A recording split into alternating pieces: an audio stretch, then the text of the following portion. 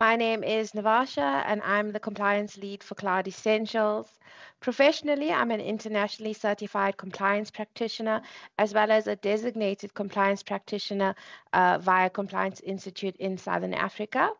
Uh, I have experience working in knowledge management, legal advisory, as well as compliance uh, within the financial services sector. And however, my passion, I would say, lies uh, in being able to help organizations translate their legal and regulatory requirements into tangible people, process, and technological controls. So it's my pleasure to be your host today, um, as well as to welcome my fellow experts who are joining me to talk to you. Today, I'm joined by Melindy Dean, who is a compliance specialist at Cloud Essentials. Over to you, Melindy. Good day, everyone. As Navasha mentioned, I'm Melindy Dean. I'm a compliance specialist at Cloud Essentials. I'm also an admitted solicitor of the Supreme Court of New South Wales, Australia, and I'm a certified information privacy professional for Europe. Thanks, Melindy. And joining me as well is Johan, our technical lead. Good afternoon. I'm Johan Schalkwyk. I'm a Microsoft security and compliance technical specialist with over 10 years of experience deploying various Microsoft technology and also managing content and migrating content from various legacy platforms to Microsoft 365 and Azure. Thank you very much. Thanks, Johan. Thank you. So please feel free to connect with us after the session. Sally will put uh, links to our LinkedIn profiles on the chat. We're, we're going to work through uh, just a little bit of housekeeping. So we're going to work through some of the presentation content.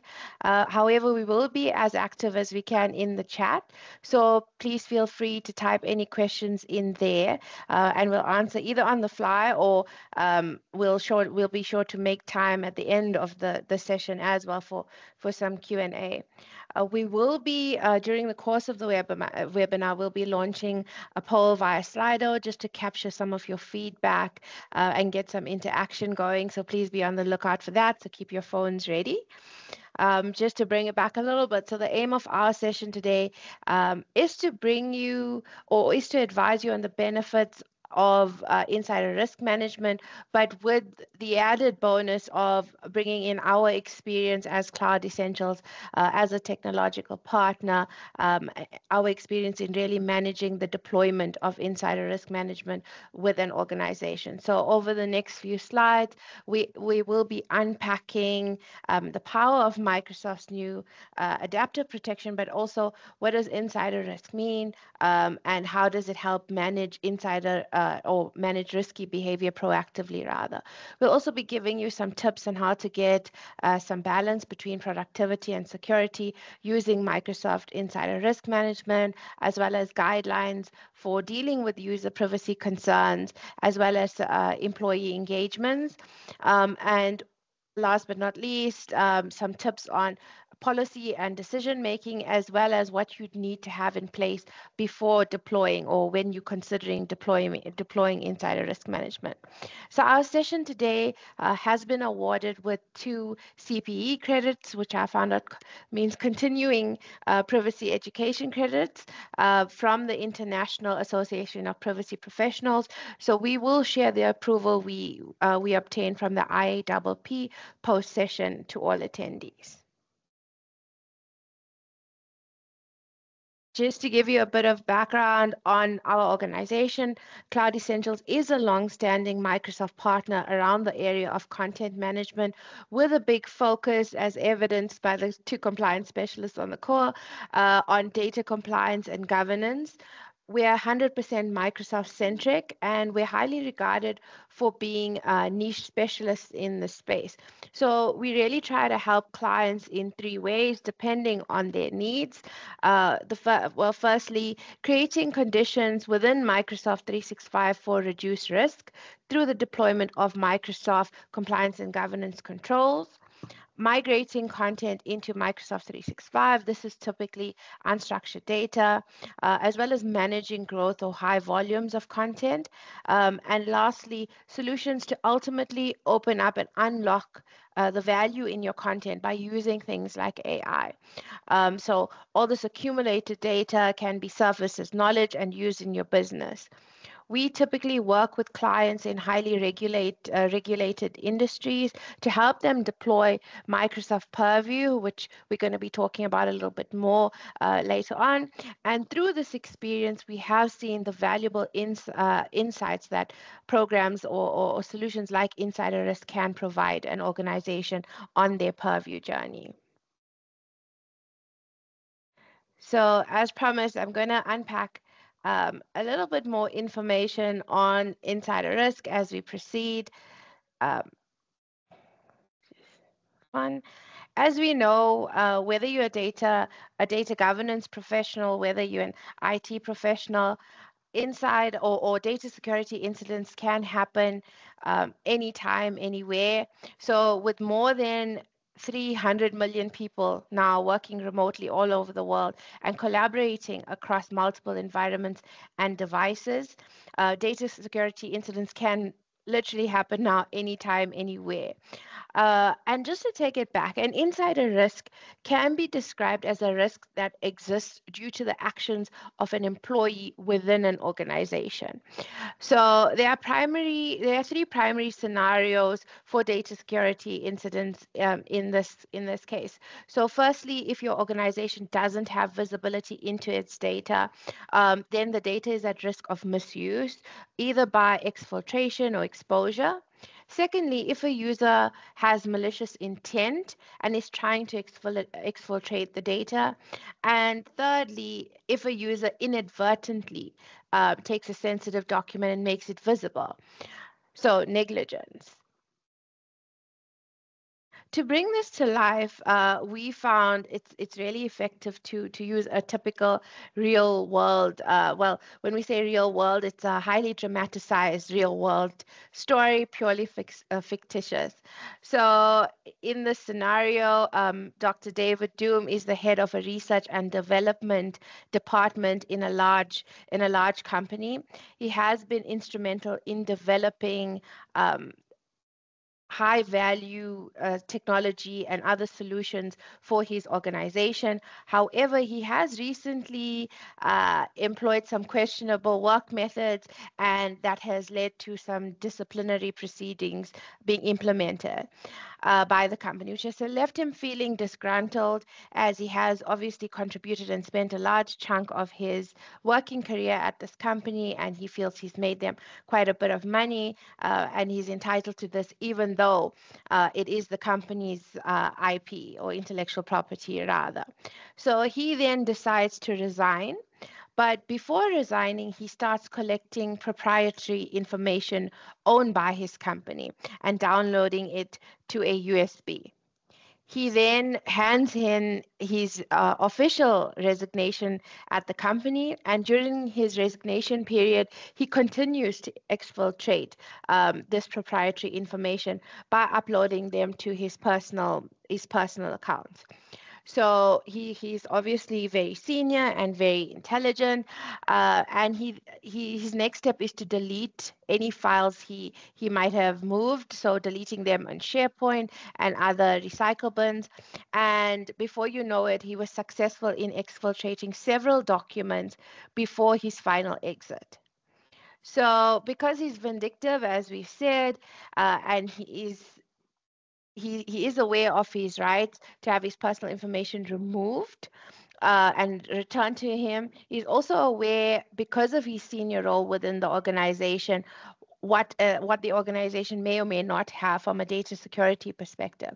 So he submits a data secure um, um, a data subject access request rather to help him cover his tracks and find out what the company may or may not know, uh, and then also request for his information to be deleted. So how this was possible, so if we if we unpack this the scenario a little bit, uh, how he was able to exfiltrate um, a lot of this information is due to the fact that yes, he had a privileged uh, position within the company, so he had greater greater access rights. Uh, and the company then didn't have visibility into sensitive data. So if they haven't discovered and, and um, cataloged their data appropriately, they would not know um, what data exactly was being exfiltrated. Secondly, DLP, or data loss prevention, uh, didn't flag the repeated offender. So it didn't flag the fact that he was doing this on an ongoing basis. And lastly, even though there was this access control implemented, given his senior role within the organization, he was able to abuse this collaboration or, or this access uh, privilege, rather. So, with this very scary story uh, in mind, I think it's it's important to understand um, what could have been or, or, or what we can learn from from the scenario rather.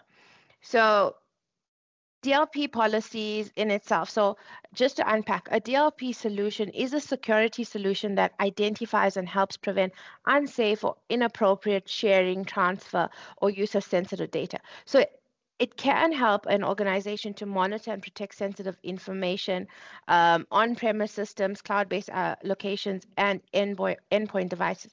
However, it alone or implementing this alone cannot prevent int um, intentional actors from exfiltrating information, as organizations cannot block all channels uh, in a way that uh, would not hinder productivity and collaboration. As we said, he has uh, abused his collaboration right. Further, DLP solutions have their limitations. For instance, they cannot detect sensitive data unless a user attempts to interact or share that data. And while DLP solutions might detect activities involving sensitive data, they typically flag each activity individually rather than providing an aggregated view of a user's overall activity. Uh, as a result, they might, they might not identify repeated offender scenarios like we've just described. Uh, static DLP policies are also ineffective or also effective or ineffective on individual uh, channels and are not adaptive to evolving risks. Uh, so implementing such policies often requires a trade-off between productivity and security. Uh, and security is often compromised, uh, leading to potential data security incidents where sensitive data is uh, easily exposed and companies become vulnerable. So it proves that while traditional uh, that traditional data security uh, solutions are not enough um, in isolation to secure a company's most valuable data, uh, data and companies should combine their, their current practices with solutions like insider risk to help detect um, this type of hidden risks to better protect their crown jewels.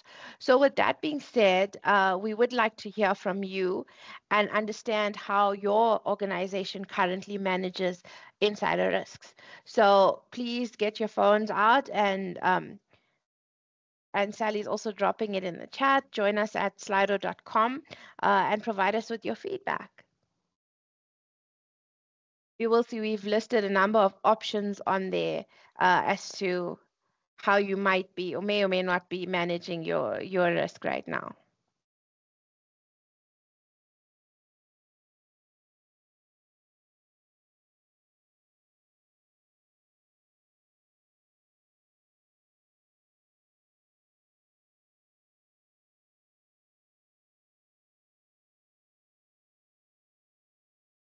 Just waiting for results to start coming in and then I'm going to share it.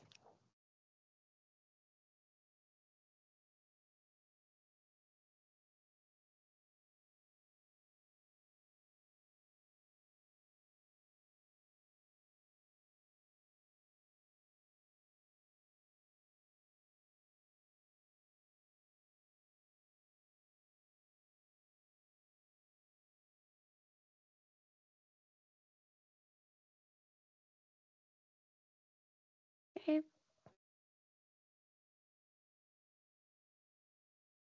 So just some results starting to come in. We have something in place, but it's very reactive. 22% uh, on, we have Microsoft Insider Risk Management. Interesting. We have nothing in place. Sure, I'm sure.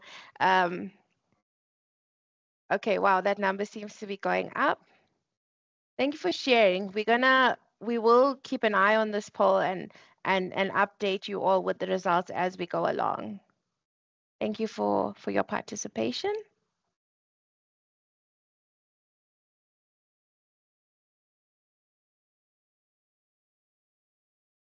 Sorry, the I'm definitely a governance person, just uh, trying to work through the, the technology a little bit more seamlessly. I apologize.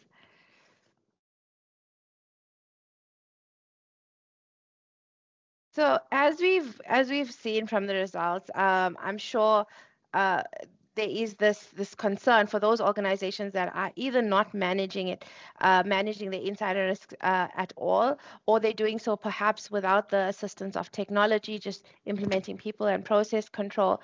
It should be noted that what so organizations, in order to uh, get ahead of these insider risks, they would need to implement multiple controls. So it's not a it's not a um, it's not a solution or it's not a risk where one type of control is enough or one type of uh, solution is enough. So you'd need to implement uh, controls around preventing data from unauthorized use across workloads, as well as protecting sensitive data throughout its life cycle and understanding activity context around your data. So you would need to do all three to fortify your data security strategy, which might seem da uh, daunting if you're attempting to implement three uh, very different solutions to help accomplish this, or you're working with multiple stakeholders to help, you know, bring together a data security solution. However, this is where I think it's very important for me to start describing what Microsoft um, has has implemented or has come up with to help uh, organizations to manage and balance their data security and productivity. Uh, and I'll also be unpacking a little bit about how Cloud Essentials can help you with this. So Microsoft Purview, uh, as I mentioned earlier, is a comprehensive set of solutions uh, to help you manage or help your organization govern, protect, and manage data wherever it lives.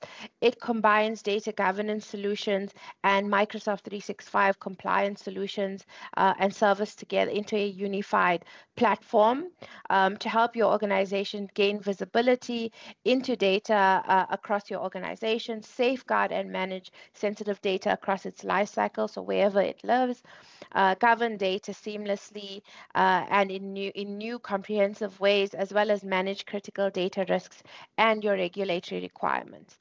So where we are at today uh, is how, how it would work in managing risky behavior. So Microsoft Insider Risk Management correlates uh, various signals to identify uh, potential malicious or inadvertent insider risks, such as I, uh, IP theft, as we saw in the scenario earlier, data leakage, and security violations. So insider risk management enables customers to create policies to manage security and compliance uh, it has been built by Microsoft with the uh, with the intention of privacy by design.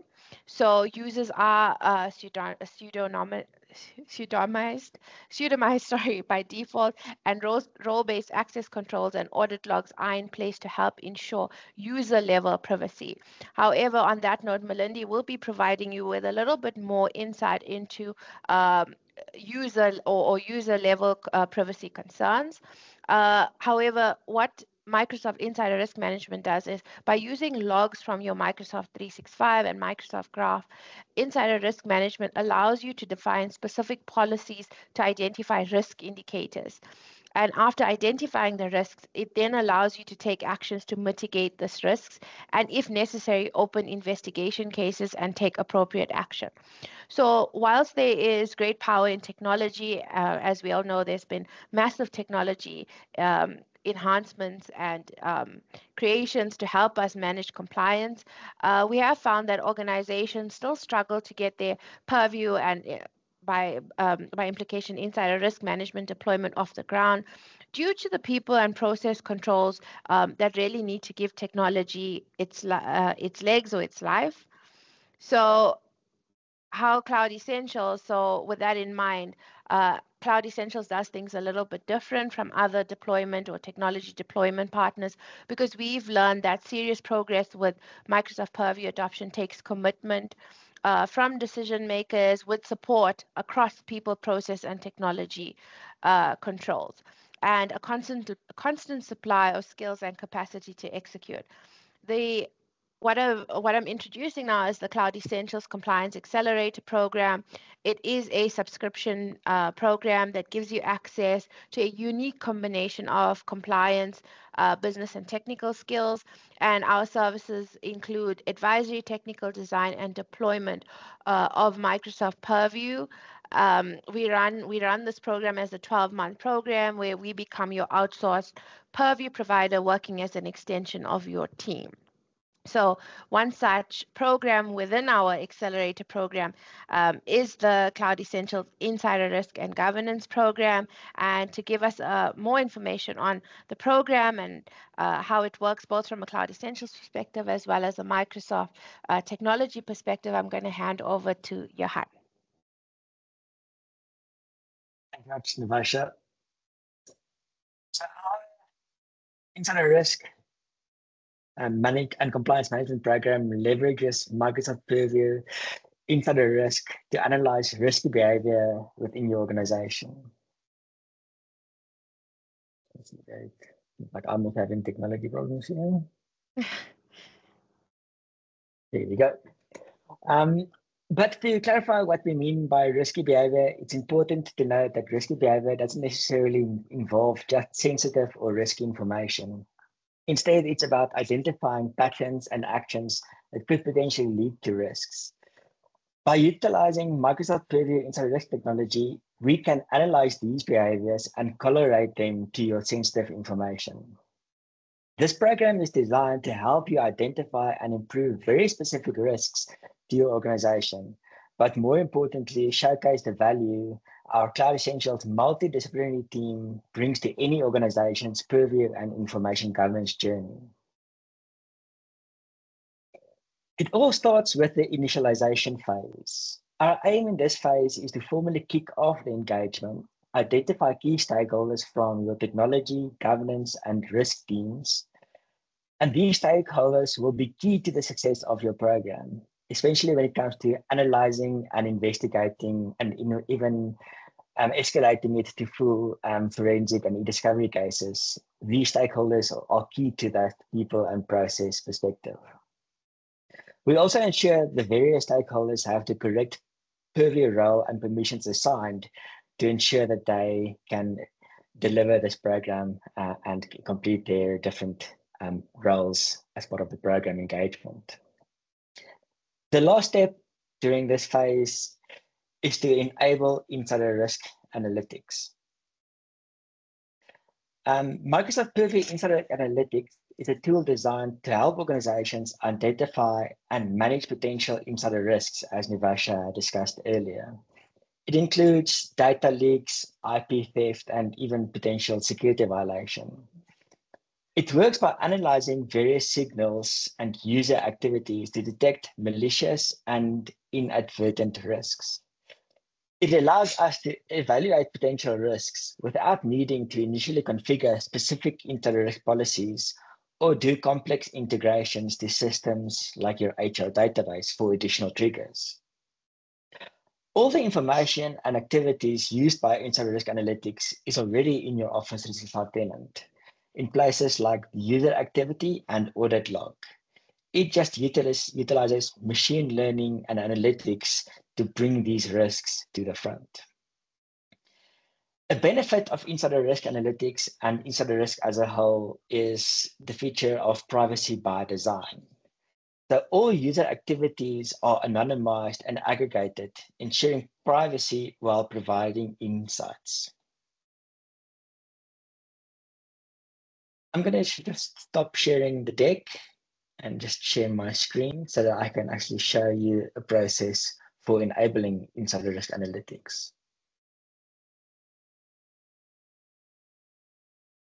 Outside of the program, insider risk analytics can be enabled for any tenant with E5 or E5 compliance add-on license.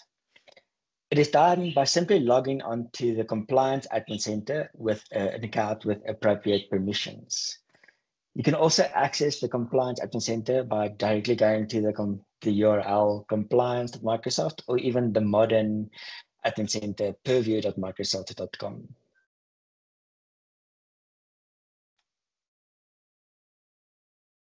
complete the authentication.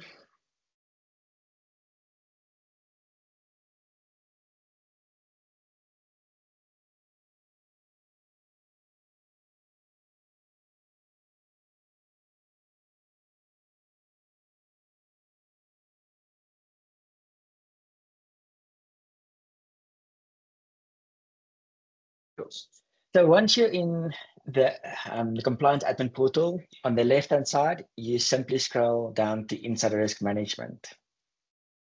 Depending on whether you have configured or played around in this area, you might have the option just to follow a simple wizard that Microsoft guides you through for enabling insider risk management. Just waiting for that to load so I can go through the experience for you.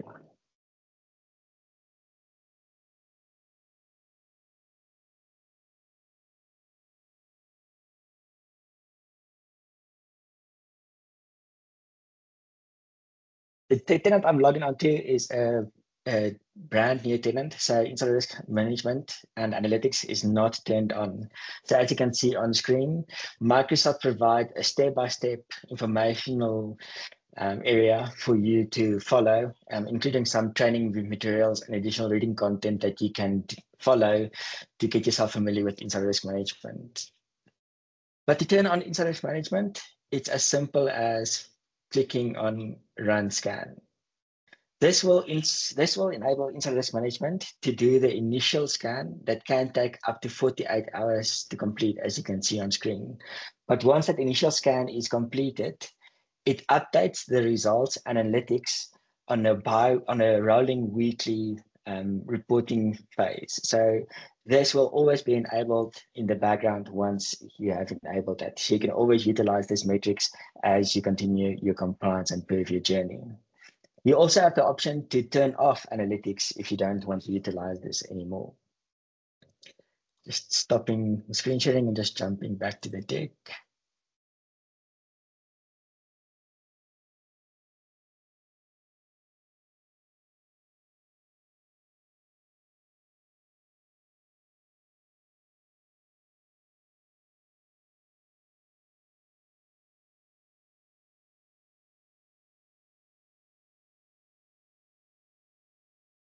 Once we have enabled the analytics and we run for 48 hours, we move on to the activation phase of the program.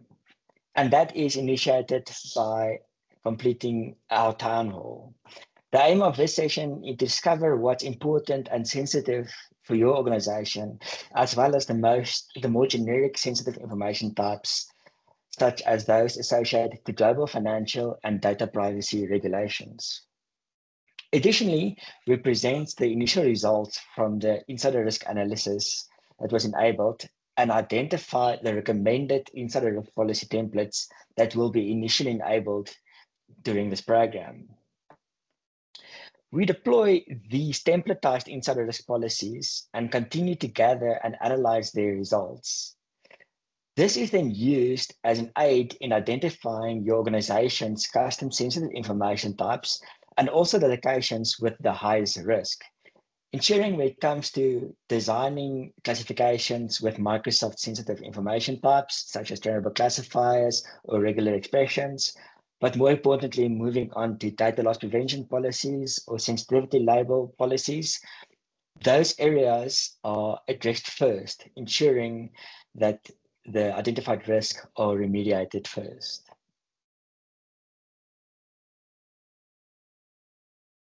The results you can see on screen is just a sample from a tenant that have had insider risk analytics running for a while. And as you can see, it identifies useful information around users' activities such as exfiltration activities, them downloading and exfiltrating SharePoint files, and also potentially um, malicious activity that potentially occurred during the resignation period.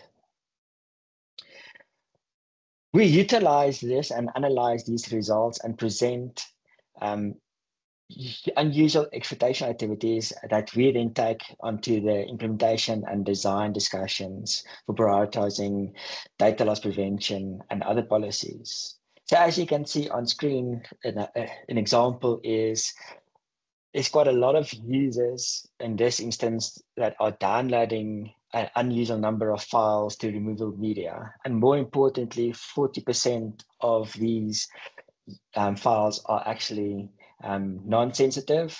So it might not be required to focus in on blocking removable media. But there's a lot of utilizing users downloading files from SharePoint to their devices that contains sensitive information types. So we'll then recommend that a DLP or a sensitive label policy is then created and rolled out during the activation phase to address this specific for this organization. Lastly, the closeout phase is used to present the results and effectiveness of the configured purview solutions during this program and how it improves your risk posture. This is done by showing you the effectiveness of your DLP policies, data classification rules you have in place to your insider risk analytics results. The expectation here is that those additional purview controls that we have deployed within the organization will reduce the number of hits with received within those insider risk policies. But as everybody know here, data governance and information security is never an implement and forget engagement. And this program is just a starting point to your purview journey. I will stop here and hand you over to Melindy, who will cover important items you need to have in place if you are thinking about utilizing insider risk management. Thank you so much, Johan. So we'll now be having a discussion on how insider risk management impacts your compliance posture. So at Cloud Essentials, our compliance methodology focuses on incorporating best practices in the assurance field. And as Navasha mentioned earlier, Cloud Essentials ensures that controls implemented address the people, the process, and the technology within an entity. So with Johan having discussed the technology controls, we'll now address the people and the process elements in terms of your organization's regulatory and governance requirements regarding the deployment of insider risk management. So let's consider your user privacy concerns. Organizations need to be aware of their obligations in terms of employment monitoring. In terms of Article 88 of the GDPR, member states have the authority to create rules that protect employees' personal information, and these rules also apply to the termination of an employment contract. Further, in South Africa, one must consider the requirements in terms of RICA. So, in terms of RICA, employees are allowed to monitor employee activities if adequate notice is given to an employee. Secondly, organizations need to consider that there is, in fact, a lawful basis for the deploying of insider risk management, and that would that lawful basis would be your legitimate interest. So that will be Article 6 in terms of the GDPR, as well as Section 11 of POPIA. Then another essential element to consider in terms of the seven principles of the GDPR is transparency. You need to be transparent with your employees in declaring that you do monitor their behavior.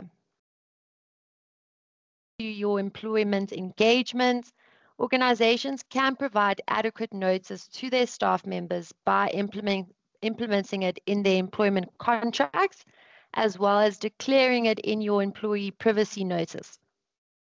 So lastly, let's consider what needs to be in place in terms of deploying insider risk management, so consider adding in how long are you going to keep the monitoring data before an employee has resigned, as well as how long are you going to keep the data after an employee has resigned, should they have used the data in a malicious way in terms of legal, legal proceedings. And you can do this by implementing this in your retention policy. Then you're also going to have to take into account who is going to have access to these alerts in terms of monitoring or archiving the data. This will be available in your user activity reports within your Purview suite under Insider Risk Management. So with that being said, Navasha, don't you want to share some quick wins on how organizations can get started with their insider risk deployment? Thanks, Melindy. Um, so from a starting point here, um, we're gonna I'm gonna take you through some of the quick wins we've identified in our experience. Um, quick win number one is obviously getting started with the Cloud Essentials um, Insider Risk Management Program that Johan uh, took us through. Some of the benefits um, of using it is really uh, context aware detection. So, being able to leverage machine learning to identify the most critical risks by analyzing both content and user activities. Uh, and as we said, this helps in pinpointing potential threats more accurately um, as well as uh, the dynamic controls within um, the, within the program. So implementing dynamic controls that enforce effective policies on high risk users uh, while allowing others to maintain productivity. So that's where we see that adaptive protection really coming in. This ensures that security measures are applied where they are needed most without disrupting overall workflow. Um, we also see within or with the deployment of insider risk management, there's automated mitigation. So um, automated mit mitigation really helps to minimize the impact of potential data security incidents. And this reduces the administrative overhead and speeds up the response time to threats. Uh, integration with existing tools. This is uh, very important because it integrates with uh, adaptive protection, with Microsoft Purview, uh, data loss prevention, or uh, data lifecycle management, all within Purview. And this creates a comprehensive security framework. As we discussed earlier, one one solution isn't enough, um, you know, to help you get by with your data security um, and compliance within an organization. It really takes it's really a multi-pronged approach um, and having this comprehensive security framework uh, really helps address both internal and external uh, threats. As we as we see in, with Johan's demo, it is quite a quick setup. Um, so you can utilize this quick setup feature to automatically create uh, DLP policies as well for platforms like Teams and Exchange Online. And this really simplifies the initial configuration and ensures that you have basic protections in place uh, from the start. So by focusing on these areas, um, you can quickly enhance your organization's security uh, posture with Microsoft Adaptive Protection as well.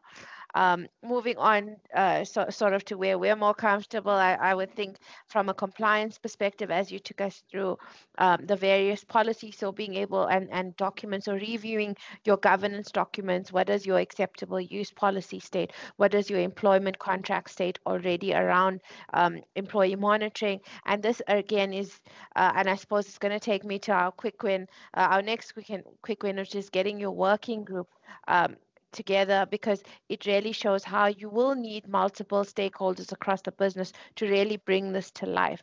You'd need your HR stakeholders and your legal and compliance team to help you analyze employee contracts and and and, and check whether you are within your rights to implement um, you know, monitoring uh, as you've discussed before. So, do does it comply depending on your geolocation? Um, are you within a location where you're allowed to do this without consent or without further consent, rather?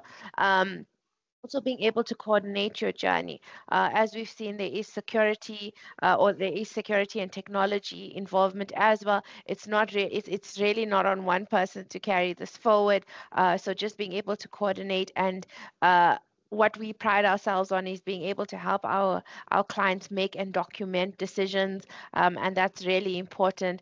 Again given the multiple stakeholders involved in the deployment of uh, of any technology control or any technology solution um, you will need stakeholder engagement across the board from your legal um, to your security as well as your operational team so those are some of the quick wins we've identified.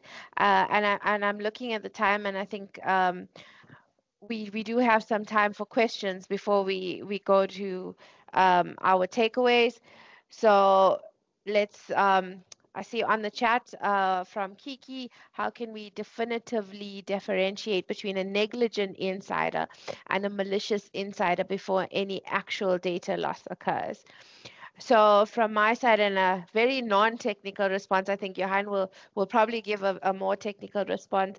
I would think identifying the nature of the content. So this is where things like your sensitivity labeling also comes in handy, ensuring that, uh, so for example, if more sensitive information as it's been categorized is being downloaded uh, versus non-sensitive information, I would think um, that's that's an indicator uh, of possible uh, of possible data loss of possible malicious intent.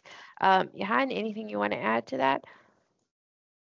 Yeah, so I think um, you need a comprehensive approach that can all be delivered with Microsoft Purview technology. So it starts off with just ensuring that your, your sensitive data is protected with solutions like um, sensitivity labels so that in the event that users attempt to send uh, or exfiltrate sensitive data, they are prevented by, by that mechanism.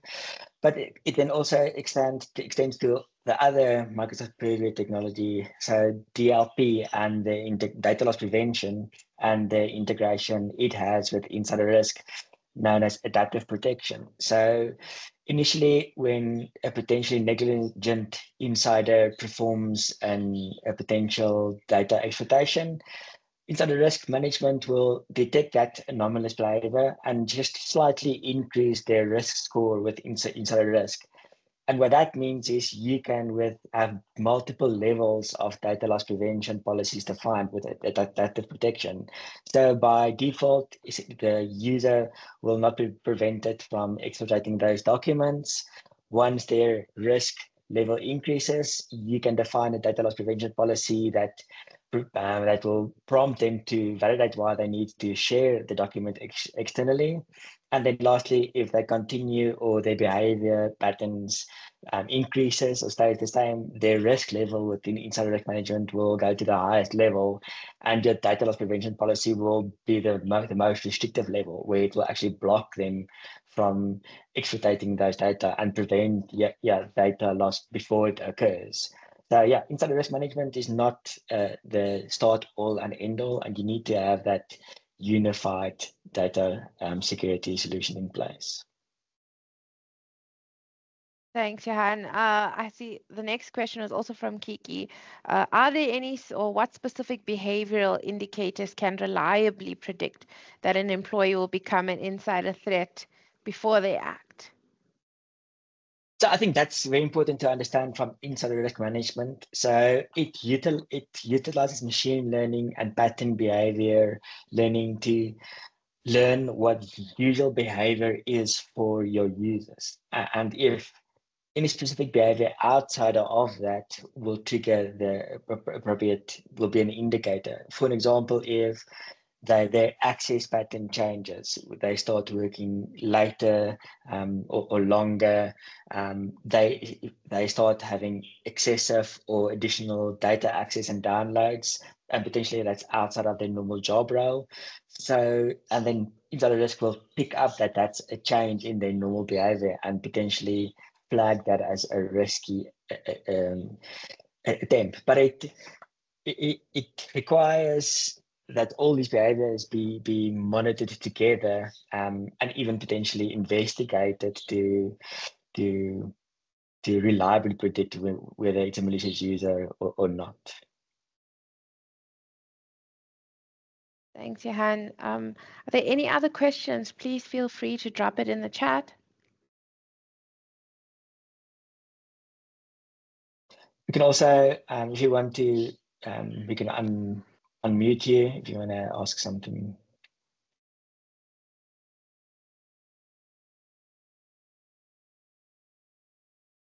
Doesn't look like any additional questions. Um, doesn't look like it. So I think just based on your responses, Johan, it seems like while um, so while Microsoft uh, Insider Risk uh, and ad adaptive protection offer uh, or are powerful tools for enhancing organizational securities. Uh, they also come with their challenges, it sounds, and and and so, and some effort is required across stakeholders. Uh, it also requires careful consideration from management. Uh, so by understanding i think because uh, a lot of the questions or often what what people come up with is okay we we have or we're trying to deploy this but there's often um, you know false positives or we're finding it difficult because it's very resource intensive. I think it's it's for organizations to obviously be be able to balance that uh, and also to understand that um, to leverage their capabilities across their data security solutions uh, and insider risk can definitely uh, you know help with that so I see, sorry, another comment on here. Uh, what is the role of the employee change and the person will, okay. What if the role of the employee change and the person uh, uses more data or, or works different hours versus normal? So would that be a possible indicator? Yeah, so you can change the, the indicator period when it that Microsoft Insider Risk Management utilizes to determine change in behavior. So yeah, that you can definitely um, change that. So it's a set time um, where you configure Insider Risk Management to analyze behavior to determine whether it's malicious or not.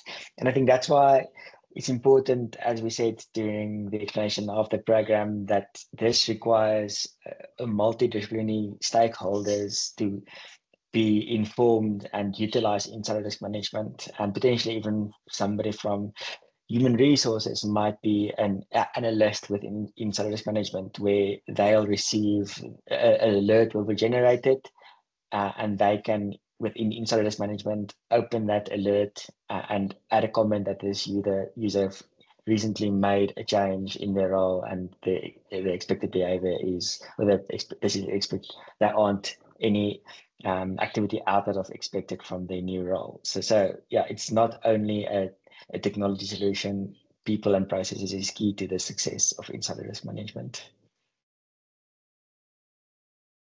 Thanks, Johan. Um, doesn't seem like there are any more questions, so I'm going to uh, move on to our takeaways. Um, as you can see on the screen, we are we have provided some resources. So we've got an article on insider risk and adaptive protection, uh, and just how to uh, to securely uh, or to secure productivity rather as we are aware of the challenges between deployment um, and how it might affect your your productivity we've also included a link to our collaboration tools article just around how you can um, more effectively uh, use them uh, in your environment. Also, please feel free to reach out if you'd like uh, a very informal conversation uh, on your Microsoft security journey. Um, yeah, our our links are on on. Uh, we've shared our links our links to our LinkedIn earlier as well. Uh, and I, we do have time, and I see one one question, uh, another question on the chat. So uh, I'm just going to take it. To what extent does company culture influence the likelihood of insider risk, and how can this be quantified? So I think a big one uh, we talk about a lot from a governance perspective is the importance of uh, compliance culture uh, within a company. So, so things like embedding uh, compliance principles, ethical principles, and setting that tone at the top. Um, so this is a great, it's a great question uh, around why compliance is, is we, as we always say, is a journey. Uh, because as much as the, the technology is there to help you um, pick up threats like this, uh, the education and the culture instilled within the organization uh, is what really helps to improve that. Uh, so I, I, definitely think it has a lot of a great uh, influence rather on in, on things like insider risk. Uh, so just we have found, um, and even in the example we used earlier, the more unhappy I would think an employee is, the more likely they are to to perhaps have some malicious intent or, so some uh, feelings or, or or have hurt feelings toward the company on their exit. So I think it's very important to ensure your employees.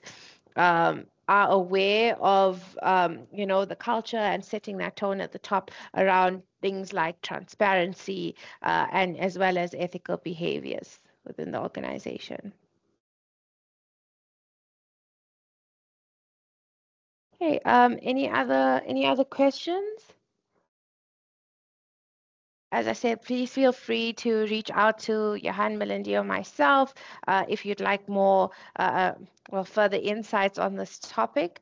If uh, if there's nothing else, uh, we will be closing out for today. So thank you all for joining us. Uh, be on the lookout for an email from from us for your CPE credits as well.